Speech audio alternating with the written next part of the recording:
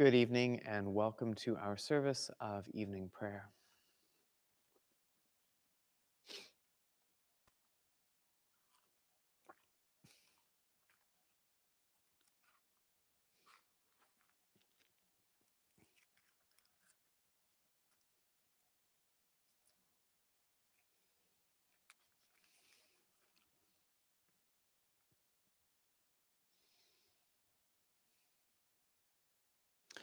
Let my prayer be set forth in your sight as incense, the lifting up of my hands as the evening sacrifice.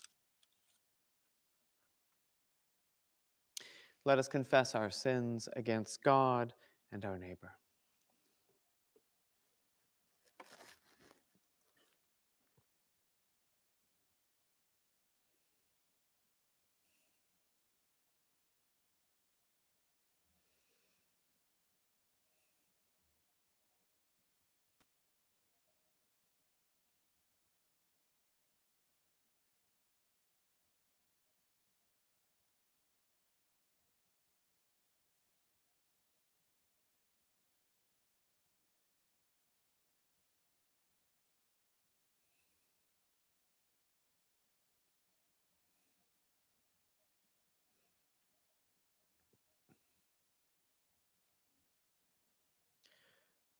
Most merciful God, we confess that we have sinned against you in thought, word, and deed, by what we have done and by what we have left undone. We have not loved you with our whole heart. We have not loved our neighbors as ourselves. We are truly sorry and we humbly repent. For the sake of your Son, Jesus Christ, have mercy on us and forgive us, that we may delight in your will and walk in your ways to the glory of your name. Amen. Almighty God, have mercy upon you, forgive you all your sins through our Lord Jesus Christ, strengthen you in all goodness, and by the power of the Holy Spirit, keep you in eternal life. Amen. O God, make speed to save us. O Lord, make haste to help us. Glory to the Father, and to the Son, and to the Holy Spirit, as it was in the beginning, is now, and will be forever. Amen. Alleluia. Let us say together the Phos Hilaron. O gracious light, pure brightness of the ever living Father in heaven, O Jesus Christ, holy and blessed, now as we come to the setting of the sun, and our eyes behold the vesper light, we sing your praises, O God, Father, Son, and Holy Spirit. You are worthy at all times to be praised by happy voices, O Son of God, O Giver of life, and to be glorified through all the worlds.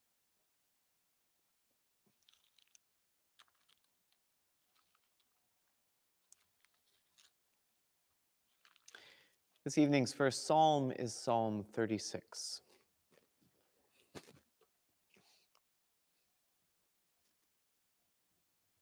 There is a voice of rebellion deep in the heart of the wicked. There is no fear of God before his eyes. He flatters himself in his own eyes that his hateful sin will not be found out. The words of his mouth are wicked and deceitful. He has left off acting wisely and doing good. He thinks up wickedness upon his bed and has set himself in no good way. He does not abhor that which is evil. Your love, O Lord, reaches to the heavens, and your faithfulness to the clouds. Your righteousness is like the strong mountains, your justice like the great deep. You save both man and beast, O Lord. How priceless is your love, O God. Your people take refuge under the shadow of your wings. They feast upon an abundance of your house. You give them drink from the river of your delights. For with you is the well of life. And in your light we see light. Continue your loving kindness to those who know you and your favor to those who are true of heart. Let not the foot of the proud come near me, nor the hand of the wicked push me aside. See how they are fallen, those who work wickedness. They are cast down and shall not be able to rise. And this evening's second psalm is Psalm 39. I said, I will keep watch upon my ways, so that I do not offend with my tongue. I will put a muzzle on my mouth. While the wicked are in my presence, so I held my tongue and said nothing. I refrained from rash words, but my pain became unbearable. My heart was hot within me. While I pondered, the fire burst into flame. I spoke out with my tongue. Lord, let me know my end and the number of my days, so that I may know how short my life is. You have given me a mere handful of days, and my lifetime is as nothing in your sight. Truly, even those who stand erect are but a puff of wind. We walk about like a shadow, and in vain we are in turmoil. We heap up riches and cannot tell who will gather them. And now, what is my hope? O Lord, my hope is in you. Deliver me from all my transgressions. And do not make me the taunt of the fool. I fell silent and did not open my mouth. For surely it was you that did it. Take your affliction from me. I am worn down by the blows of your hand. With rebukes for sin, you punish us. Like a moth, you eat away all that is dear to us. Truly, everyone is but a puff of wind. Hear my prayer, O Lord, and give ear to my cry. Hold not your peace at my tears, for I am but a sojourner with you, a wayfarer, as all my forebears were. Turn your gaze from me, that I may be glad again. Before I go my way and am no more. Glory to the Father, and to the Son, and to the Holy Spirit, as it was in the beginning, is now, and will be forever. Amen.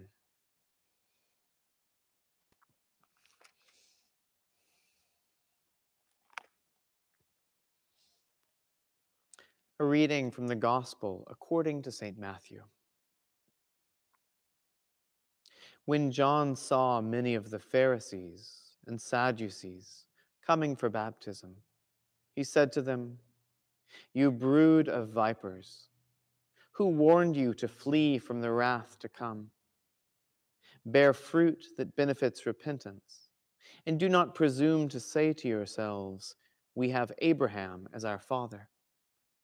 For I tell you, God is able from these stones to raise up children to Abraham. Even now the axe is laid to the root of the trees. Every tree, therefore, that does not bear good fruit is cut down and thrown into the fire.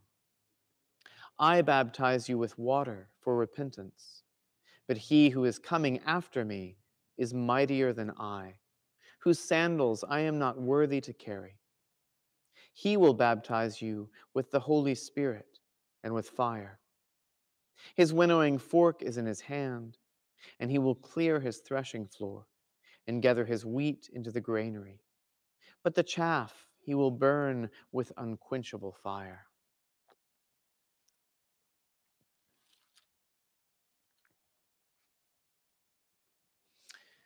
When one hears a gospel like this, one may be tempted to sort of be a bit afraid. It sounds very severe and very harsh But we have to remember who it is that John the Baptist is talking about. This one who is coming is Jesus. And he is burning up the chaff in the fire, but he's also igniting our hearts with fire. He is, as John says, baptizing with fire. What is chaff? So, if you have a piece of wheat in the ancient world, well, and today if you're a farmer, it is a little tiny edible grain that is surrounded by this little wheat suit of armor. So you have the kernel of wheat, which you can pound into flour and make bread and feed your children, staff of life, everybody lives for another day. And it's surrounded by this inedible, useless husk. And so on a threshing floor, the wheat, this invaluable little tiny unit of life, is separated from this, this um, just hard, useless suit of armor, this inedible chaff, and they are threshed apart. And so the winnowing fork is in his hand, and he's threshing apart this invaluable grain of life from this useless chaff which surrounds it. In one sense, if we think of ourselves as just being pure chaff, then this sounds like a pretty terrifying metaphor. Um, however, if we think about ourselves as like a total piece of wheat, not to say this is absolutely what St. John meant, um, but it's one possibility certainly, then if we are a mix of this invaluable image and likeness of God and surrounded by this useless suit of armor, this useless suit of pride and arrogance and fear and selfishness. And I can make myself feel better by buying all this stuff. I can make myself feel better by getting this great job. I can make myself feel better by eating the whole gallon of Bluebell at once. All this stuff that we surround ourselves with. Then, when the master comes with his winnowing fork to separate the wheat from the chaff, getting rid of that chaff forever, burning it with unquenchable fire, that actually sounds like the best possible thing that could happen to me. If I were just that germ of wheat, just that, that um, unit of life, just that uh, image and likeness of God, without all this other junk that I've piled on top. However, if you are a piece of wheat that's pure chaff and there is no wheat on the inside, then threshing and there's there's nothing to be pulled apart if you're just chaff if your life has been consumed by impressing other people and being powerful and being the smartest one in the room and being the most beautiful person and yada yada yada yada yada. If, if it's all chaff then what has the master got to gather into his granary? So st john is yelling repent Repent. Be that full human that God created you to be. Be the image and likeness of God. Notice the places where you've wandered off the path of your true humanity, where you've wandered off the path that leads to Christ, that looks like Christ, and get back on that path. Repent because the Master is coming. His winnowing fork is in his hand. Make sure there's something there to redeem when he comes.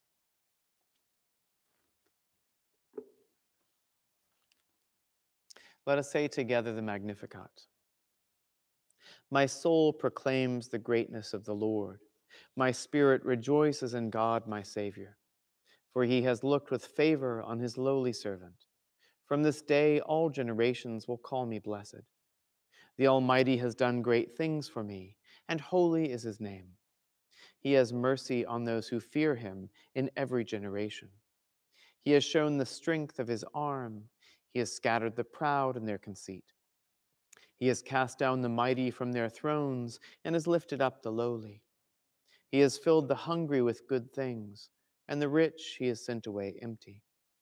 He has come to the help of his servant Israel, for he has remembered his promise of mercy, the promise he made to our fathers, to Abraham and his children forever. Glory to the Father, and to the Son, and to the Holy Spirit, as it was in the beginning, is now, and will be forever. Amen. I believe in God, the Father Almighty, creator of heaven and earth. I believe in Jesus Christ, his only Son, our Lord. He was conceived by the power of the Holy Spirit and born of the Virgin Mary.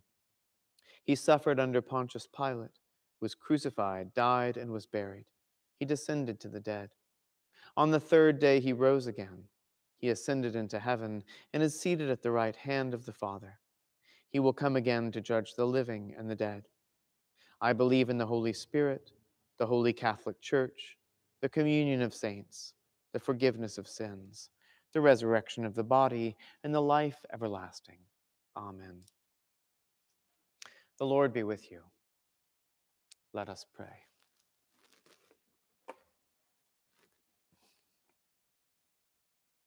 Our Father, who art in heaven, hallowed be thy name.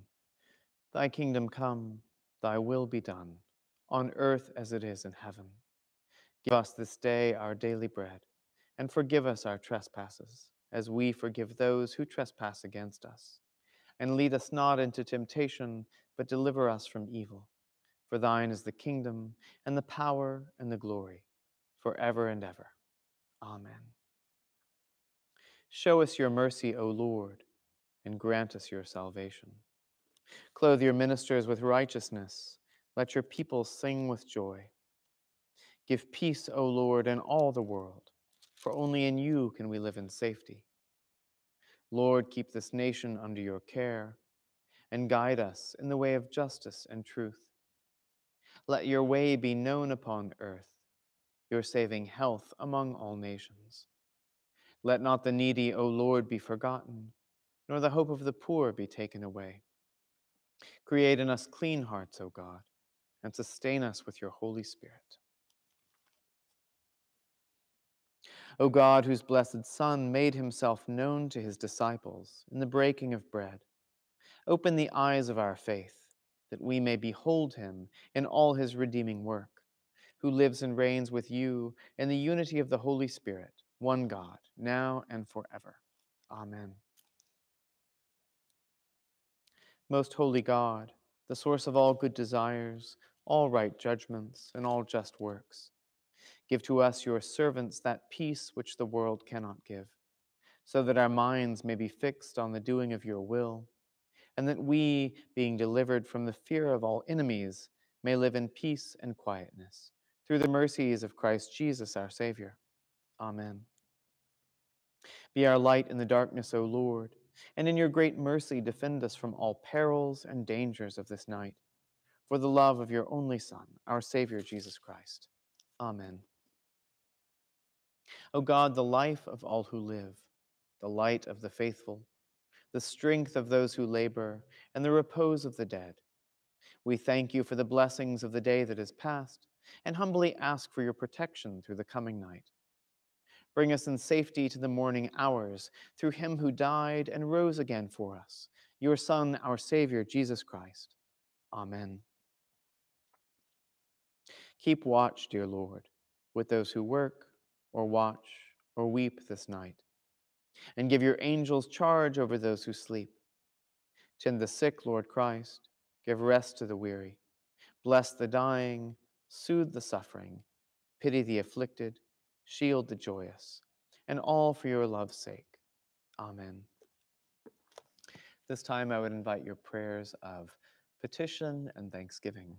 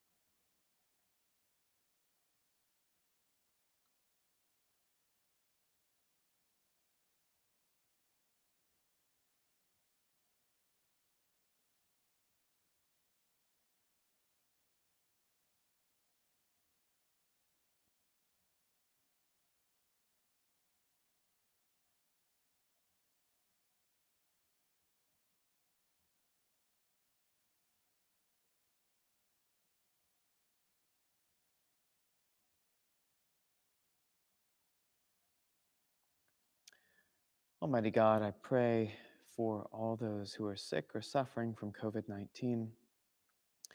I pray for the city of Georgetown that you would keep us safe from this pandemic, for the city of Austin. I pray for the whole state of Texas, for the United States, and for all the nations of the world as we seek to combat this virus. I pray that you would lift this plague from us. I pray for all those who are now in hospital, in ICU. I pray that you would heal them. I pray for all of the doctors, nurses, and other caregivers who are on the front lines of this battle. I pray for protection and strength for them. I pray for all scientists working on tests and on cures and vaccines. I pray that you would work through them to bring us speedily accurate testing and an effective vaccine against this virus. I pray also for all those who have died. I pray that you would receive them into your heavenly kingdom. I pray for all who have died in this community, especially for Gene Feller, our brother, after his several year battle with illness. I pray that he would rest in peace and rise in glory. Please watch over Grace Church. Please keep us united in prayer, although we are physically distant. I pray for all those who are anxious or lonely during this time. Please help them to know that you are in isolation with them.